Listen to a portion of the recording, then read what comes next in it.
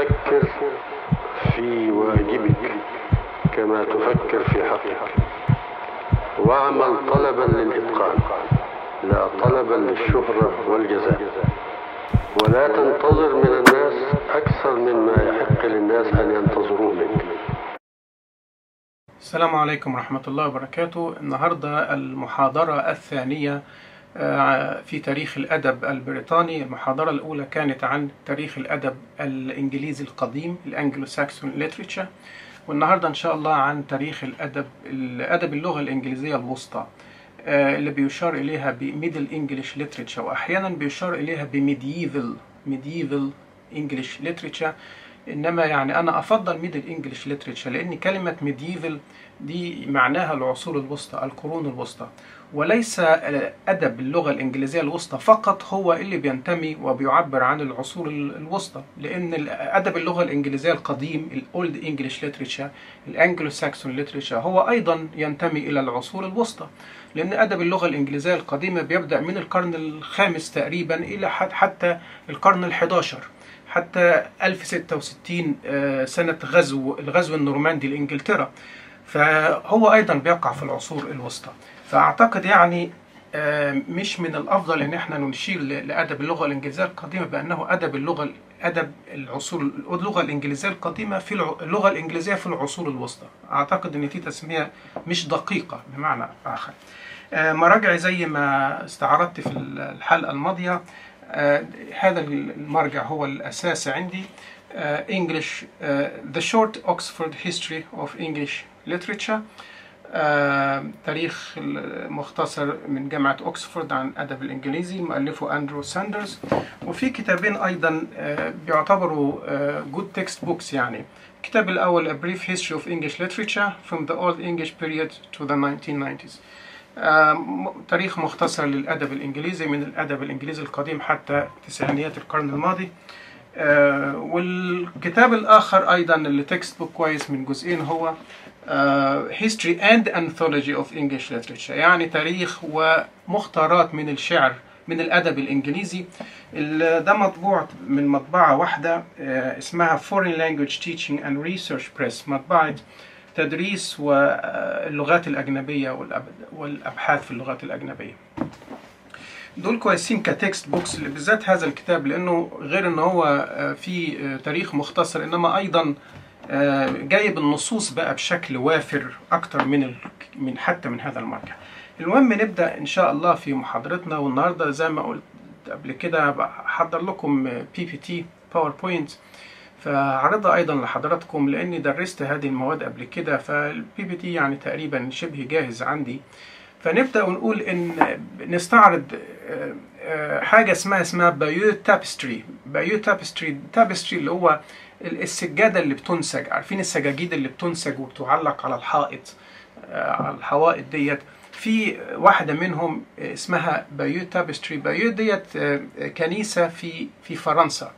فهذا النوع من الغزل زي ما إحنا شايفين في الصورة معلق على الكنيسة دي. وهذا هذه السجادة المغزولة المنسوجة بتصف وبتعبر عن الغزو النورماندي لإنجلترا. الغزو النورماندي زي ما إحنا عارفين في 1066 و1066 دي بداية الأدب اللغة الإنجليزية الوسطى. إنما لما بنقول بدايتها مش معنى كده بدايتها يعني الناس بدأ الأدباء والشعراء بدأوا يكتبوا باللغة الإنجليزية الوسطى في تلك السنة تحديدا مباشرة أبدا. مستحيل طبعا يعني من الناحية العملية مستحيل. مستحيل يكونوا مثلا قبل الغزو النورماندي بيوم بيكتبوا لغة إنجليزية قديمة وبعد الغزو النورماندي بيوم بدأوا يكتبوا لغة إنجليزية قديمة لأن الفرق بين اللغة الإنجليزية القديمة واللغة الإنجليزية الوسطى شاسع جدا جدا. زي ما قلت قبل كده أكبر من الفرق ما بين اللغة الإنجليزية الوسطى واللغة الإنجليزية الحديثة. ولما أقول حديث حديث أقصد بها لغة شكسبير. شكسبير يعني القرن نهاية القرن ال 16 وال 17 فتخيلوا يعني الفرق الشاسع جدا. إنما هذه المرحلة الانتقالية اللي هي من الغزو النورماندي في القرن ال 11 1066 وحتى بداية الاستخدام اللغة الإنجليزية الوسطى أخذت على الأقل حوالي 200 سنة. يعني اللغة الإنجليزية الوسطى بدأوا فعلا الكتاب يكتبوا بها في منتصف ال- القرن ال- الثالث عشر فيما فوق. بدأوا يعني حوالي 200 سنة تقريبا من من الغزو ال- النورماندي. وبقول يعني إن الأفضل ان نشير إلى تلك المرحلة بأنها مرحلة أدب اللغة الإنجليزية الوسطى مش العصور الوسطى. لأن العصور الوسطى بتتضمن أيضا الأدب الإنجليزي القديم والعصور الوسطى زي ما قلت هي بتبدأ من تقريبا القرن الخامس إلى حتى تقريبا القرن الخامس عشر. وتحديدا بحدثين تاريخيين مهمين جدا. تاريخ الأول هو سقوط الإمبراطورية الرومانية في 476 القرن الخامس وسقوط الإمبراطورية البيزنطية في 1453 يعني القرن الخامس عشر فنبدأ بهذا النسيج المغزول على والمعلق في في في كنيسة بايو ويقال إن زوجة ويليام الملك ويليام اللي, في نورماندي ملك ال duke بتاع نورماندي واللي غزا إنجلترا هي اللي غزلت الناس كده إنما في نقاد لا يرجحون هذا الرأي لأن يعني مش معقولة واحدة امرأة واحدة هي اللي تنسج لأنه طولها حوالي 70 متر. فقالوا مش معقولة واحدة امرأة واحدة هي اللي تعمل الكلام دوت خاصة إن النساء الساكسونيات الإنجليزيات في ذلك الوقت كنا مشهورات بالغزل والنسيج. فمن الأرجح يعني إن بعد الغزو النورماندي القاده قادة الجيش الفرنسيين النورمانديين هم اللي جعلوا السيدات الإنجليزيات ينسجوا هذا النسيج وما إلى ذلك. فهذا السجاد المعلق في كنيسة بايو بيعبر عن الحرب الإنجليزية النورماندية والغزو النورماندي. وكل رسومات فيها بتعبر عن يعني مثلا عن مقتل الملك والمعركة دي اسمها هيستينجز Battle of Hastings معركة هيستينجز معركة بحرية طبعا. ومات فيها آخر الملوك الساكسونيين. آخر الملوك الساكسونيين اللي حكموا إنجلترا هو الملك هارولد الثاني كان قتل في تلك المعركة. وتلك السجادة يعني اسمها The Tapestry of Queen Matilda. ماتيلدا دي زوجة ويليام. ويليام اللي هو الملك النورماندي اللي غزا إنجلترا.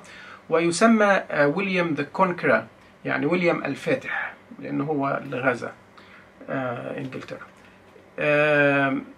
الملك اللي كان بقى قبل قبل غزو النورماندي اللي كان بيحكم إنجلترا ومات في تلك السنة مات أيضا في 1066 كان هو اسمه إدوارد the Confessor. وهو كان كان متدين جدا عشان كده اسمه the Confessor المعترف يعني. كان متدين متدين جدا يعني. وتوفي في تلك السنة اللي اللي غزا فيها النورمانديين إنجلترا. لما النورمانديين والنورمانديين عشان يعني لمحة جغرافية تاريخية سريعا كده هي إقليم بيقع في أقصى شمال فرنسا. والنورمانديين دول أصلا مش فرنسيين هم أصلا فايكنج أصلا القراصنة الفايكنج اللي جايين من أقصى شمال أوروبا. يعني حتى نور نورمانديين نور نورم ديت اللي هي Norse جاية من North North اللي هي الشمال اللي هم بتشير إلى زي في بحر الشمال North Sea بحر الشمال. وال Norse دي هي كلمة بتشير إلى القبائل والشعوب الإسكندنافية يعني زي النرويج الدنمارك اللي في أقصى شمال أوروبا أيسلاند أيضا شمال ممكن تضم شمال ألمانيا. هذه المنطقة كلها اللي كان بيسكنها قبائل الانجلو ساكسون والجوتس والقبائل الفايكنج قام بينها وبين الشعوب الإنجليزية حروب طويلة. هذا يعني قبيلة من قبائل هذه المنطقة غزت شمال فرنسا واستوطنتها. وكانت المنطقة ديت اطلق اصبح أصبحت تسمى باسم نورماندي. نورماندي يعني يعني أرض أهل الشمال أرض أهل الشمال. أصبحت هم أخذوا أو, المنطقة أخذت اسمهم.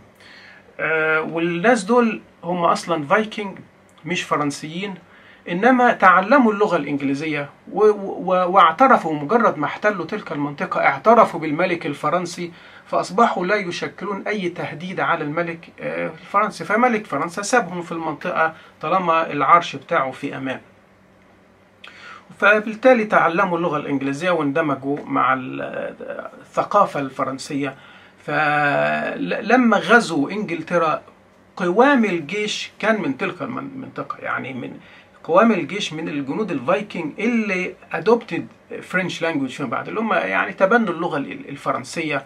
فلما دخلوا في إنجلترا آه، كان النظام الاجتماعي في إنج- في إنجلترا وقتها كان نظام إقطاعي. ولما نقول نظام اقطاعي يعني طبقات الشعب بتبدا بالطبقة العليا هي طبقة الحكام. طبقة الحكام و- ويساويها أو تحتها مباشرة طبقة ال- الكهان والقساوسة. لأن في العصور الوسطى زي ما أنتم عارفين القساوسة كان كان لهم سطوة وسلطة كبيرة جدا خاصة في في روما. يعني كان بياخدوا الأوامر كلها من روما. كانت دولة داخل دولة وكان ال- القساوسة لهم سلطة يعني أكبر من سلطة حاكم البلد نفسه. فكان الحكام في الطبقة العليا ومعهم القساوسة ويأتي تحتهم طبقة اللوردات والإقطاعيين وأصحاب الأراضي الأثرياء. وأيضا مع تلك الطبقة آه، أو تحتها مباشرة مباشرة طبقة ال- ال knights knights K N I G H T طبقة ال- النوبة الفرسان. الفرسان. طبقة الفرسان. وطبقة الفرسان دي يعني الفارس لازم يكون على الأقل عنده القدرة إنه يشتري حصان وسيف ودرع وخوذة. فكان لابد إن يكون يعني آه، مرتاح ماديا. ما مش ممكن واحد فقير وعنده القدرة إنه يشتري حصان. حصان زمان يعني زي عربية مرسيدس أحدث موديل في وقتنا الحاضر. فكان الرجل الثري فقط هو اللي يستطيع أن يشتري. وهنتكلم عن الفروسية دي فيما بعد. آه، لأن هي لا تتعلق بمجرد امتلاك حصان لها أيضا بعض الأخلاقيات هنتكلم عنها. اللي بنقول أخلاق الفروسية هنتكلم عنها في حينها يعني. فالنورمانديون لما دخلوا إنجلترا ولقوا هذا الوضع الاجتماعي ما غيروش في حاجة أبقوا على هذا الوضع الإقطاعي وال- والنظام الاجتماعي زي ما هو. ولكن طبعا هم دخلوا والتأثير اللي عملوه إن الملك ويليام الفاتح أعطى آه، كثيرا من للم- للقوات بتوعه قواد الجيش اللي ساعدوه قاده الجيش. أعطى لهم والنبلاء أعطى لهم أراضي ك- كتيرة جدا. آه، فهم أخذوا الأراضي ديت واستوطنوا في في في إنجلترا. وزي ما عملوا في شمال فرنسا في نورماندي إن هم اندمجوا مع مع الشعب الفرنسي ومع الثقافة الفر- الفرنسية. هم أيضا لما دخلوا إنجلترا حاولوا يعملوا نفس الشيء إن هم يندمجوا مع الثقافة الإنجليزية. حتى أن الملك ويليام حاول أنه يتعلم اللغة الإنجليزية إنما لم يفلح حتى وفاته في 1087 لم يفلح في تعلم اللغة الإنجليزية واكتفى باللغة الفرنسية. آه، ولما دخلوا يعني هم ما غيروش أي حاجة حتى في ال في ال في أسماء ال- الشوارع وال كل أسماء الشوارع أسماء المدن أسماء الكنائس فضلت زي ما هي أسماء الولايات آه، باستثناء ال- القلاع الجديدة اللي أنشأوها والمدن الجديدة والطرق الجديدة اللي شقوها آه، أعطوها أسامي فرنسية. إنما القديم فضل زي زي ما هو عليه. نيجي بقى نتكلم عن ال- اللغة نفسها. إيه اللي تغير في اللغة الإنجليزية؟ قبل دخول النورمانديين لإنجلترا كان يوجد في لغتين فقط في إنجلترا.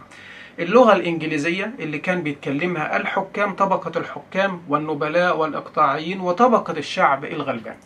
ونسيت أقول إن في في تحليل التقسيم لل- للطبقات الاجتماعية إن طبعا بعد طبقة الحكام والقساوسة وال- والنبلاء والفرسان تأتي آخر حاجة طبقة الشعب الغ- الغلبان اللي هم طبقة المزارعين وال- والفلاحين وطبقة الخدام serfs بيقال عليهم serfs S E R F فال serf ده يعني الخادم يعني أو اللي بيقوم بوظائف متدنية اللي هم طبقة الشعب بشكل عام. فلما دخلوا النورمانديين إنجلترا كان في لغتين فقط بيستخدموا اللغة الإنجليزية طبقة الحكام والشعب بيستخدموها والنبلاء وكل الناس بيستخدموا اللغة الإنجليزية واللغة اللاتينية. اللغة اللاتينية كان بيستخدمها القساوسة ويعني كانت لغة الصلاة الصلاه والدعاء وال وال- والمكاتبات الرسمية. لما النورمانديين دخلوا حصل تعديل بأنهم أدخلوا اللغة الفرنسية. فاللغة الفرنسية أصبحت لغة المراسلات الرسمية.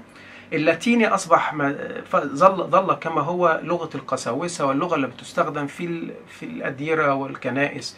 آه، واللغة الفرنسية أصبحت لغة النبلاء والأثرياء والحكام. هم اللي بيتكلموا باللغة الفرنسية. واللغة الإنجليزية أصبح طبقة الشعب الفقير فقط. هم اللي بيستخدموا اللغة الإنجليزية. وزي ما قلت في الحلقة المحاضرة الماضية عن الأدب اللغة الإنجليزية القديم وزي ما قلت أيضا في محاضرتي عن بيولف آه، ملحمة بيولف ال- الشعب ال- المزارعين والفلاحين كانوا يعرفوا أسماء الحيوانات فقط. يعني يعرفوا إن دي cow بقرة يعني cow آه، خروف و- وأغنام sheep آه، خنزير اللي هو boar اللي هو pig يعرفوا أسماء الحيوانات لأن هم دول اللي بيتعاملوا معاهم في الغيط وفي الحقل وفي ال... إنما ما يعرفوش أسامي ال- اللحمة بتاعتهم. انهم ما بي- ما بياكلوش الحيوانات دي هم بس بيستخدموها آه، في الحقول إنما ما بياكلوهاش. مين اللي بياكل اللحوم ديت؟ طبقة الأغنياء وال... والنبلاء وال... والناس دول. دول اللي كانوا بيستخدموا اللي بياكلوا. إنما ما يعرفوش بقى الحيوانات نفسها. ولذلك آه، طبقة النبلاء دول بدأوا يستخدموا الكلمات الفرنسية اللي بتشير لأسماء ال- اللحوم. زي مثلا ال- الشعب ال- الفقير يبقى عارف إن البقرة اسمها كاو. إنما ال- الغني والنبلاء والأثرياء يعرفوا إن لحم اللحم البقر اسمه بيف بالإنجليزية جاية من بيف جاية من بيف باللغة ال- الفرنسية. ال- ال- الخروف مثلا sheep. الفقير يعرف إنه sheep باللغة الإنجليزية. إنما اسم لحمته إيه؟ الأغنيا بس اللي يعرف إن لحمته اسمها mutton. آه، mutton باللغة الإنجليزية بقت mutton. جاية من viande de mouton باللغة الفرنسية. الفقير يعرف إن الحيوان اسمه حيوان الخنزير اسمه pig إنما الغني يعرف إن لحم حيوان الخنزير اسمه pork جاي من porc باللغة الفرنسية وما إلى ذلك. فاللغة الفرنسية أصبحت لغة الحكام والأغنياء وال- والنبلاء. اللغة دي اللغة الفرنسية. اللغة الإنجليزية طبقة الشعب بس اللي بيتكلمها اللغة اللاتينية طبقة القساوسة ورجال الدين. واللغة الفرنسية أيضا أصبحت لغة الدوائر الحكومية أصبحت اللغة الرسمية في التخاطب والمراسلات الحكومية آه، وما إلى ذلك. وال- واللغة الإنجليزية لما نقول لغة إنجليزية اللغة الإنجليزية نفسها فيها آه، لهجات كتيرة جدا ومختلفة. يعني إنجلترا بتنقسم إلى ثلاثة أقسام. آه، الشمال والوسط منطقة الشمال ومنطقة الوسط الوسطى والمنطقة الجنوبية. والمنطقة الوسطى نفسها بتنقسم لشرق وغرب. والشرق دوت اللي هو فيها لندن. كل منطقة طبعا لها لهجة خاصة بيها وتعبيرات خاصة بيها حتى وقتنا الحاضر. آه، يعني حتى إن اللهجات اللهجات الإنجليزية اللي بتجدها في بتجدها في إنجلترا رغم إن إنجلترا آه، كمساحة مش كبيرة نجد إنها أكتر بكتير من اللهجات الإنجليزية اللي بتستخدم وبنسمعها في أمريكا رغم إن أمريكا أيضا لهجة الشمال غير لهجة الجنوب غير لهجة الشرق غير لهجة الوسط الغرب. إنما مع ذلك إنجلترا فيها لهجات كتيرة جدا. فالكلام ده كان أيضا موجود في العصور الوسطى إنما مع مرور الوقت أصبحت لندن منطقة الش... المنطقة الوسطى الشرق فيها فيها لندن آه، أصبحت هي العاصمة وأصبحت اللهجة بتاعتها هي و... و- ولذلك هي اللي حددت ملامح ومعالم اللغة الإنجليزية المستقبلية اللي إحنا ما, زلنا بنتحدث بها حتى الآن. بعد دخول النورمانديين آه، يعني آه، زي ما قلنا في تأثير حصل في اللغة اللغة الفرنسية دخلت وهذا التأثير أيضا امتد للأدب الإنجليزي نفسه لأن ال- الناس الأرستقراطيين واتصالهم بالثقافة ال- الفرنسية آه، أدى أيضا إن هم يستخدموا بعض الفورمات في الأدب الإنجليزي الفرنسي الفورمات في بعض أيضا ال- ال rhythm الإيقاع إيقاع الشعر الفرنسي بدأوا يستخدموه آه، بعض الشكل الأشكال الأدبية في كتابة القصيدة ال- الإنجليزية أخذوه أيضا من من الشعر ال- الفرنسي. آه، و ومع وجود هؤلاء ال- النبلاء اللي منهم كتير منهم فرنسيين نورمانديين وعلى فكرة اللغة النورماندية يعني مش هي اللغة الفرنسية ال- المعروفة الآن في وقتنا الحاضر لا كان اللغة في لغة فرنسية آه، نورماندية آه، مختلفة. يعني آه، هنتكلم أيضا عن النقطة دي فيما بعد لما نيجي نتكلم عن عن المغنيين الشعبيين الفرنسيين. فالأدب الإنجليزي ملامحه بدأت تتغير. يعني مثلا في الع... في ال... في الأدب اللغة الإنجليزية القديمة كان الشاعر الإنجليزي لابد إنه يبحث عن باترون باترون يعني واحد يتعهده وكيل له يتوعد يتعهده ويصرف عليه يعطيه مبلغ شهري ينفق عليه عشان الشاعر دوت يتغنى بعظمته وكرمه وشجاعته. زي زمان كده المتنبي وأبو نواس والشعراء العرب ال- القدامى. آه، إنما يعني هذا ال- النظام بدأ يختلف بعد دخول النورمانديين. بعد دخول النورمانديين الشعر الإنجليزي بدأ يبقى يتأثر بالشعر الفرنسي وبال وبدأ يأخذ آه، شكل الشعر الأوروبي بشكل عام. فبدأ يبعد عن مسألة إن الشاعر يكون له باترون خاص به آه، ينفق عليه. آه، وبدأت ال ال هذه ال- الملاحم الشعرية اللي بتكتب بدل ما تكتب في شخص غني بقت تكتب في آه، مثلا ال- الهيروس الأبطال ال- الساكسونيين والأبطال الرومانيين والأبطال ال- الفرنسيين. بقت منصبة على البطولات ال- بعض الشخصيات التاريخية وبعضها شخصيات آه، خيالية. هنتكلم أيضا عن هذا التقسيم فيما بعد لما نتكلم عن الأغاني الشعبية لأن ثلاث مواضيع أصبحت تتركز عليها. مواضيع روما خاصة بروما ومواضيع خاصة بفرنسا شخصيات رومانية يعني شخصيات فرنسية وشخصيات آه، إنجليزية. أول عمل نقدر أول قصيدة يعني أول قصيدة إنجليزية. آه، نقدر نشير آه، إليها. مش معروف مين اللي كتبها. هي اسمها The Owl and the Nightingale. يعني ال- البومة والعندليب الكروان. البومة والكروان. وهي آه، مكتوبة تقريبا في أواخر القرن ال 12 وأوائل القرن ال 13 ومكتوبة باللغة ال- الإنجليزية ال- الوسطى ديت. وهي عبارة عن debate يعني هي debate poetry مناظرة ومجادلة ما بين بومة وما بين آه، كروان. وكل واحد فيهم بي بينتقد الآخر. كل واحد بينتقد الآخر. يعني ال- الكروان يقول للبومة أنت صوتك وحش والبومة ترد وتقول آه، وانت ما يعني ما بتغنيش إلا في وقت معين في في في, اليوم أو الليل أو أوقات محددة. كل واحد يعني يلقي بالتهم والانتقادات على الآخر لغاية ما في الآخر هيتفقوا إن هم يروحوا آه، لقسيس أو راهب معين آه، عشان يكون هو الحكم بينهم. ويطيروا الاثنين بحثا عن ذلك الراهب و- والملحمة بتنتهي آه، هنا. وطبعا ال- ال- القصة ديت هي قصيدة شعرية مش معروف مين كاتبها إنما هي عبارة عن نقد نقد للمجتمع ال- الإنجليزي في ذلك الوقت ونقد لبعض الشخصيات ال- الإنجليزية. وهي أيضا بتعكس ال legal system بتاع القرون الوسطى في ذلك الوقت لأن هي من خلالها بنعرف آه، ال- اللي كان بيحصل لما بيكون في آه، يعني conflict و clash وصدام وصراع بين شخصيتين وإن هم بي- بيلتجئوا لشخص محكم فيما بينهما وما إلى ذلك. آه، والقصيدة ديت مكتوبة بنظام شعري اسمه تترامتا تترامتا يعني تفعيلة أربع تفعيلات في البيت الشعري الواحد وكل ده متاخد بقى ده بيظهر ده أثر الشعر الفرنسي على على على اللغة الإنجليزية. آه، إنما هي irregular tetrameter يعني ممكن بيت يكون أربع تفعيلات بيت آخر يكون خمسة بيت آخر يكون ثلاثة وما إلى ذلك.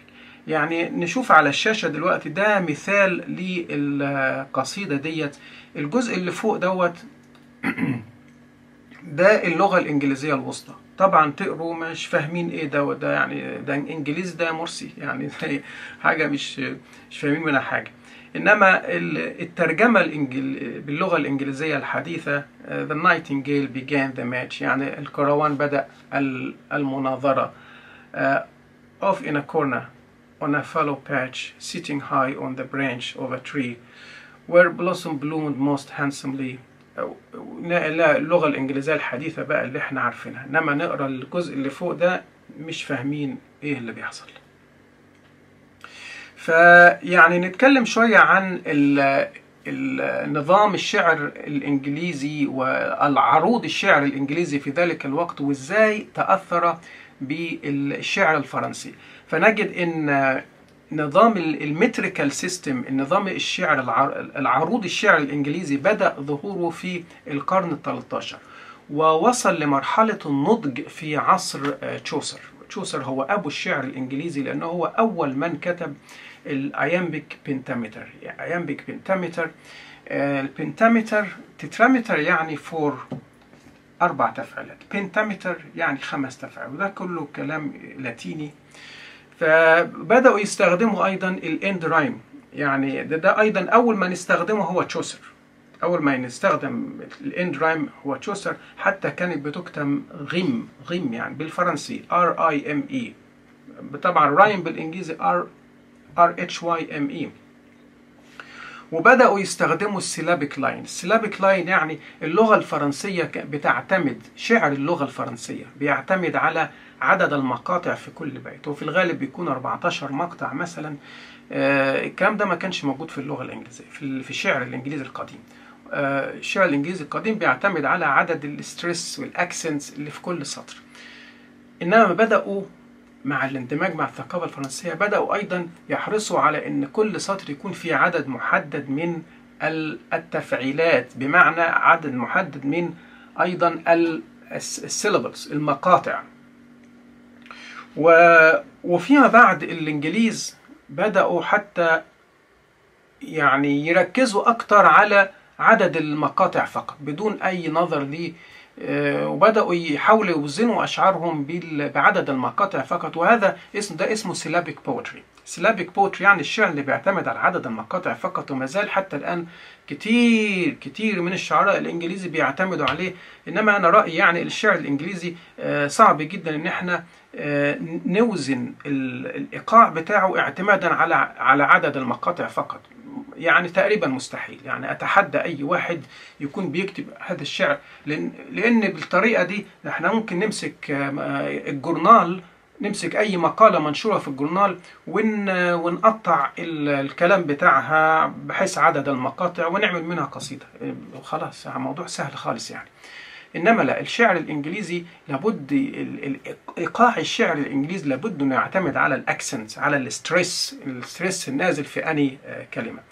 آه، إنما ال ال بعض المل- ملامح العروض الشعر الإنجليزي اللي بقيت ال- ال- ال Anglo Saxon اللي بقيت حتى بعد الغزو النورماندي نجد فيها آه، يعني تكرار عدد ال stress والضغط على الكلمات في كل بيت. هذا التكرار آه، ظل مستمرا في الشعر الإنجليزي حتى بعد الغزو النورماندي وأيضا ال alliteration. الشعر الإنجليزي القديم كان مبني على مش التفعيل مش ال- ال rhyme ال end rhyme القافية اللي في نهاية البيت بل على ال alliteration. هو تكرار الصوت الأول من الكلمة لإحداث سجع وصوت موسيقي.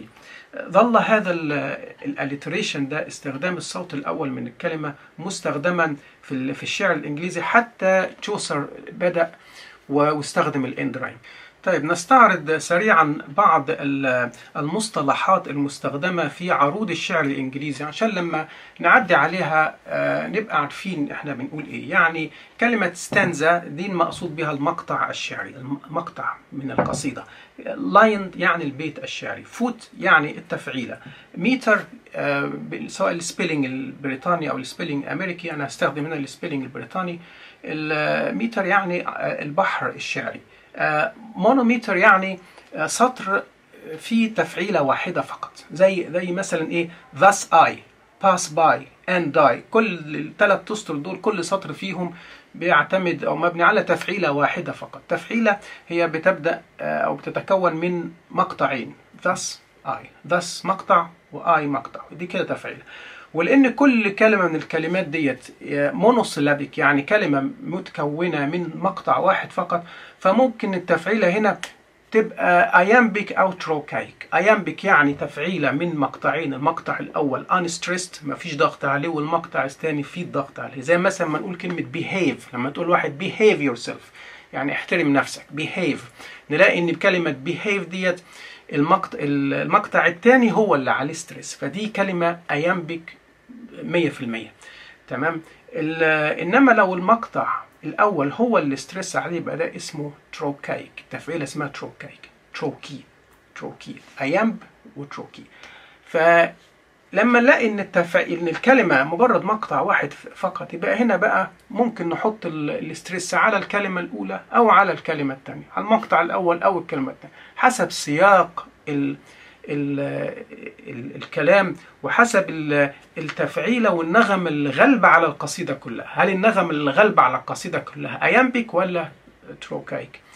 وطبعا أحيانا بيحصل حاجة اسمها بنقول عليها inversion inversion يعني التفعيلة بتتحول من iambic إلى trochaic يبقى ماشي iambic iambic تتم تتم تتم تتم وفجأة التفعيلة تقلب تمتا تم بمعنى آه، التفعيله قلب التفعيلة دي قلبها من iambic ل trochaic عشان يحدث أثر معين لما بيحط stress على أثر معين. وضربت أنا أمثلة قبل كده أظن في محاضرة سابقة عن استخدمت شعر آه، ويليام ووردسورث إزاي ماشي بتفعيلة في قصيدة Daffodil مثلا.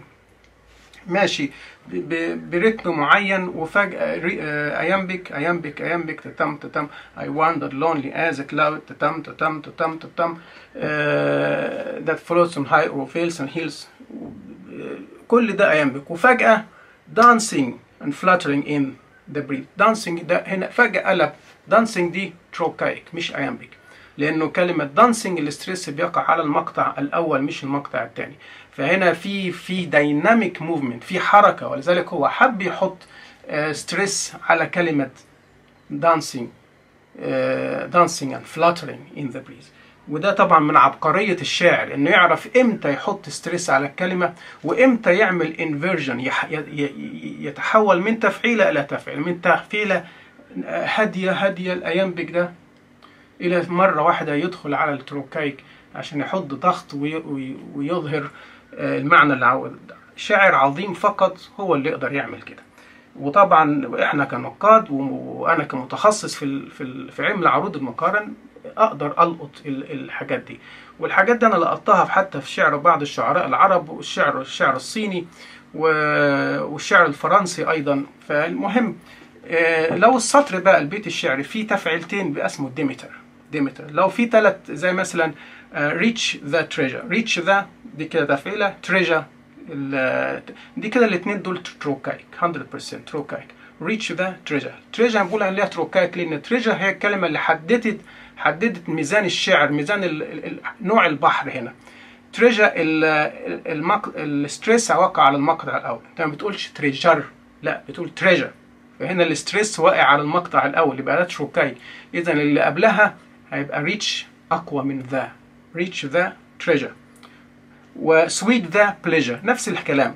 sweet the pleasure sweet كلمة عليها ضغط أكتر من the فالاتنين دول 100% 100% trochaic بعد كده لو السطر فيه ثلاث تفعيلات يبقى اسمه trimeter أربع تفعيلات يبقى tetrameter خمس تفعيلات يبقى pentameter ست تفعيلات يبقى hexameter ثمان تفعيلات octameter عشر تفعيلات آه، decameter دي كده يعني استعراض سريع لبعض ال- المصطلحات. لو لما بنقول في عروض الشعر الإنجليزي لو قلنا iambic pentameter يعني ال pentameter زي ما قلنا خمس تفعيلات خمس تفعيلات يعني عشر مقاطع عشر مقاطع. و iambic زي ما قلنا هي تفعيلة بتبدأ من مقطعين الضغط بيقع على المقطع الثاني زي مثلا الكلمة دي السطر دوت the plowman the plow لأن هقراها I will scan it بالتعبير الشعر يعني العروض هقراها هقطعها طبقا للعروض الشعر الإنجليزي. The plowman home what plods his weary way تتم تتم تتم تتم. خمس خمس نغمات ورا بعض. And leaves the word to darkness and to me. تتم تتم تتم تتم تتم خمس مرات. ونلاقي إن ال stress دايما بيقطع بيقع على المقطع التاني طبعا لما بنقرأ الشعر ما بنقراهوش ما بنقرأهوش بالطريقة ديت. إنما ال الودان المتدربة بتسمع الإيقاع على طول بالطريقة دي بحيث لو في أي كسر في الإيقاع بالودن على طول كده بالسمع بنقدر نحدده. كلمة كابلت يعني المقطع اللي بيكون متكون من بيتين من الشعر. كوبلي يعني كابلت وفي ال rhymed couplets ال rhymed couplets ده يعني زي المثناوي كده شعر جمال جلال الدين الأفغ... جلال الدين الرومي. جلال الدين الرومي مولانا جلال الدين الرومي آه ليه آلاف الأبيات المسماة مثناوي اللي كل بيتين ليهم rhyme واحد ليهم قافية واحدة. زي مثلا as soon as April pierces to the root the drought of March and bathes each bud and shoot لأن root shoot القافية واضحة طبعا. وده اسمه heroic couplet. Heroic couplet دوت اللي هو iambic pentameter يعني تفعيلة iambic تتم ال stress على المقطع الثاني وخمس تفعيلات بعشر syllables. وده heroic couplet ده طبعا ده أول من أنشأه بقى أو يعني أدخله في الشعر الإنجليزي هو تشوسر هو تشوسر ولذلك يعني تشوسر يسمى لقبه أبو الشعر الإنجليزي. يعني ويستحق طبعا هذا اللقب. يعني نتكلم بعد كده على الشيفالري الفروسية. الفروسية. الفروسية هذا الفارس زي ما قلت لابد من يكون يعني ثري بما يكفي لأن يملك حصانا وسيفا ودرعا وكل الكلام ده. ومن أخلاق الفرسان بنقول من أخلاق الفرسان أنه يدافع عن الضعيف وينتصر للمظلوم وأنه لما يشوف منكر أو خطأ يصحح هذا المنكر. والضعيف هنا يعني أيضا بيتضمن النساء يعني يقف مع المرأة الضعيفة ضد أي ظالم. وأيضا الميزة الثالثه أو الخاصية الثالثه اللي بتميز طبقة الفرسان دي هي إن هم يدافعوا عن العقيدة المسيحية ضد الكفار. والكفار هنا المقصود بهم بوجه الخصوص المسلمين. يعني المسلمين كانوا يشار إليهم Muslim infidels Muslim infidels يعني الكفار المسلمين. وأوريكم حتى صفحة 38 يعني علشان آه في ناس بي يعني تلاقيهم مش فاهمين كلمة يعني إن إنفد المسلم صفحة 8 أهي. أوريها لكم والله. صفحة 38 تحت صبع مباشرة. تحت صبع Muslim infidels أهي. أظن واضحة أوي يعني. Muslim infidel طبعا طبقا للعقيدة العقيدة العقيدة المسيحية. المسلمين كفار. وأيضا طبقا للعقيدة المسلمة المسلمة المسيحيين كفار. وإلا إحنا بنتكلم على العقائد ما بنتكلمش على بقى المعاملات. المعاملات المفروض طبعا تكون في معاملات بالحسنى وفي معاملات تجارية وكل شيء ما فيش مشاكل خالص. إنما من ناحية العقيدة لو في مسيحي شايف إن في المسلم ده مش كافر ده بقى ما بقاش مسيحي ولا فاهم حاجة في المسيحية. لأن المسيحية عشان تكون تنال الخلاص وتدخل الجنة لابد من أنك تؤمن بأن المسيح هو المخلص. لابد من تؤمن بعقيدة الفداء والخلاص والكلام ده كله. وطبعا الفروسية دي يعني كانت طبقة في الجيش في الجيش البريطاني الإنجليزي الأوروبي بشكل عام يعني مش الإنجليزي فقط. يعني كان في ثلاث ثلاث فرق من الفرق الفروسية في أوروبا. الأول فرقة اسمها The Order of the Hospital of St. John of Jerusalem. طبقة الهوسبيتاليين. ال- حتى تفتكروا في فيلم آه، صلاح الدين لما لما صلاح ذو الفقار قابل آه، نادية لطفي وسألها أنت مين؟ فقالت له إن هي من من فرقة ال- الهوسبيتا- الهوسبيتاليين. أنا فاكرها حتى هحاول أعرضها لكم آه، لو لقيتها.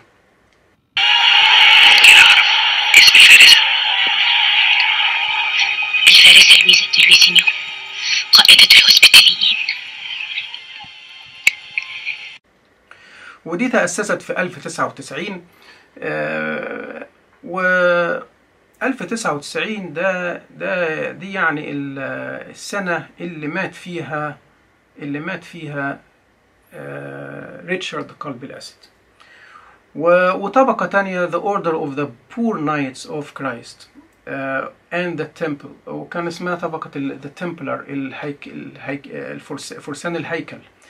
ودي تأسست في 1119 وطبقة فرقة يعني ال Teutonic Knights of Saint Mary Mary's Hospital at Jerusalem في 1143 ال- نتكلم بقى عن أشكال الشعر في ذلك الوقت. آه، طبعا طبقة الفروسية ديت ووجود طب- طبقة الفرسان أدى أيضا إلى نشوء شعر خاص بهذه الطبقة. يعني آه، قصائد الغزل قصائد courtly love courtly دي محطوطة بين قوسين courtly يعني شعر عذري يعني عذري يعني حب عذري حب لطيف حب مؤدب ولذلك محطوطة بين علامتي تنصيص كده لأنه يعني بي- بيشار إليه على إنه حب مؤدب يعني لكنه يعني مش مؤدب قوي يعني لأنه هو آه، بيبقى حب لازم يكون بين knight واحد فارس وبين امرأة noble نبي من النبلاء من النبيلات وتكون متزوجة. يعني هو هذا الشعر نوع من الشعر لازم يكون بين آه، واحد نايت فارس وواحدة متزوجة من النبيلات. وإنما ما بيتمش فيه أي علاقة جسدية. يعني هو ده آه، يعني ما يميز آه، هذا النوع من الشعر وال- وال- والقصص. وكل قصيدة بتحكي عن قصة. Okay و- وده مأخوذ من من طبقة من المغنيين والشعراء الشعبيين الفرنسيين في الأساس اللي اسمهم troubadour troubadour دول كانوا موجودين في Southern France في في جنوب فرنسا وكانوا بيتكلموا بلغة آه، يعني هي مش اللغة الفرنسية الموجودة دلوقتي هي لغة انتهت خلاص. هي لغة من اللغات الرومانسية زي تنتمي يعني اللغات الفرنسية والإيطالية والأسبانية إنما آه، لم تستمر. حتى وقتنا الحاضر. فهو التروبادور دوت ده شاعر غنائي من في العصور الوسطى كان بيغني ب- ب- بال- باللغة اسمها بروفنسال بروفنسال هي اللغة ديت تنتمي لعائلة اللغات ال- الرومانسية الفرنسية الإيطالية وال والأسبانية من القرن ال 11 للقرن ال 13 و- وفي العادة موضوع ال- القصيدة أو الأغنية القصيدة الغنائية اللي بيغنيها على ال على ال على الآلة الموسيقية اللي معاه آه، بيكون الكورت للأف دوت الحب العذري. لو حبينا نشبهه بالشعر العربي الشعر العربي فيه حب عذري اللي من رواده قيس بن ذريح و- وق- و- وقيس آه، مجنون ليلى قيس بن الملوح واللي في الشعر الصريح اللي من رواده طبعا آه، أهم رواده عمر بن أبي ربيعة. آه، ال courtly love أيضا كان بيعتمد على هذا النوع من الشعر كان بيعتمد على قصص ال- آه، آه، الملك آرثر. آه، عارفين قصص الملك آرثر وال Round Table Round Table Knights كان في 11 فارس من الفرسان 12 12 فارس بيبقوا قاعدين معاه حول دائرة مستديرة. وهو كان ملك يعني عاش في القرن الخامس تقريبا وكان من الملوك الإنجليز اللي بيصدوا هجوم ال- ال- الفايكنج وال Anglo-Saxons عليهم. آه، وكان معروف بعدله وشجاعته ونزاهته. كان محبوب جدا حتى إن هو أول من بدأ فكرة الدائرة المستديرة دي. الدائرة المستديرة دي يعني إيه دائرة مستديرة؟ يعني لما ما تعرفش مين فيهم الرئيس ومين المرؤوس لأن مفيش مكان مميز للرئيس. كلهم سواسية. فممكن يكون هو حتى لو هو كملك يعني معروف بالتاج بال- بالكرسي اللي هيقعد عليه إنما باقي الفرسان كلهم ما فيش حد مميز عن التاني. فهو كان معروف بال- بالعدل وبالمساواة وكان محبوب. ونسجت حوله بقى قصص كتيرة جدا آه، كتير منها خيالي ما حصلش أصلا يعني. وكان هو بقى بيستخدم كشخصية رئيسية في الكورتلي لاف هذا النوع من الشعر الغنائي آه، الحب العذري. وكان في أيضا نوع آخر. يعني ده الشعر العذري ده لازم يكون فارس وبيحب واحدة من النبيلات وتكون متزوجة وما يحصلش أي اتصال جسدي جنسي يعني. ونوع آخر من الأغاني الشعبية ال- أغاني الحب أيضا. هي أيضا أغاني حب وقصص حب إنما مش مش النوع الأولاني دوت مش ال court love وده بيبقى آه، أيضا ف- فقط لتسلية الأغنياء والث- والأثرياء. يعني الشاعر بي- بينسج بيح- بيحكي قصة ب- بالشعر وبتبقى معمولة في الأساس لتسلية ال- النبلاء وبتركز على ال- على النبالة على قيم النبالة وقيم الفروسية والقيم ال- المسيحية لأن في الوقت ده المسيحية كانت كان- كدين يعني كانت آه، قوية جدا وكانت مؤ- مؤثرة بقى في كل أشكال الأشكال الأدبية اللي كانت سائدة في ذلك العصر سواء الشعر ونثر وكل حاجة. كان كل حاجة لازم ال- القيم ال- المسيحية تكون متواجدة في في القصيدة. ومواضيع هذا النوع بقى من الأغاني أغاني الحب كان يا إما م- ي- يأخذوا مثلا آه، زي- ما قلت في بداية الحلقة شخصيات رومانية تاريخية يا إما شخصيات فرنسية شخصية فرنسية كان شارليمون آه، وإما شخصيات بريطانية وكان أشهرها الملك آه، آرثر والدائرة المستديرة آه، أول قصيدة غنائية آه، نقدر ن- نعدها يعني من قصائد الحب اللي هي ال romance ال romance ديت يعني قصة حب بتتقال في شكل قصيدة في شكل أغنية. هي قصيدة King Horn كينج هورن اللي تقريبا كتبت في 1225 1225 دي أول قصيدة وبتحكي عن عن أمير ال- ال- الجيش ال- جيش المسلمين جيوش المسلمين. يعني هتغزو بلده فكل دي قصص خيالية طبعا. طبعا في الوقت ده كان المسلمين هم يعني العدو الأول والعدو اللدود ليهم وكانوا كان اسمهم في وقت ده Saracens Saracens يعني الج- الجيش المسلمين. فهرب من ال- المملكة بتاعته وراح لمملكة تانية وعاش في بيت في قصر ملك آه، ملك ال- ال- ال- ال- اللي اسمها Westernesse وأحب بنت الملك وما إلى ذلك. وبعد كده في مؤامرة اتعملت عليه وعلى ال- الأميرة اللي حبها فتم نفيه إلى أيرلند وإنما في أيرلند أثبت نبلته وأثبت شجاعته فيعني استرد حقوقه. آه، ال- ال- القصيدة الثانية آه، نقدر نقول of آه، Havelock the Dane.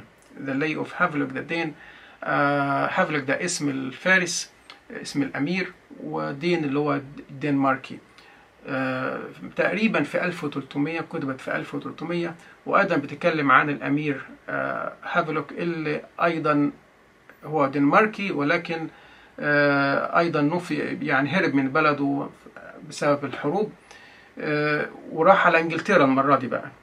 إنما أيضا يعني نبلته وأصله الطيب أصله النبيل كأمير. ظهر عليه بأن في هالة من الضوء ظهرت فوق رأسه ورجع للدنمارك بعد كده بعد ما تزوج رجع معاه والأميرة آه، جولدبورو رجعت معاه وقدر يسترد عرشه. ومن الشخ... الأغاني الشعبية بقى الأغاني البلد ال- آه، ال- المشهورة في ذلك الوقت آه، أغاني البلد ديت اللي هي البلد يعني زي زي شعراء الربابة عندنا بالظبط. الشاعر اللي بقى الشاعر الغنائي الشعبي ماشي بالربابة بتاعته بيغني هم كان عندهم نفس الفكرة. والأغاني ال- ال- ال- الشعبية البلد ديت اسمها بدأت 1300 تقريبا ل 1700 وكان في آه، يعني انتقلت طبعا كلها اورالي مش مش مكتوبة. يعني شاعر بينقلها لشاعر وجيل ينقلها للجيل فانتقلت شفاهة.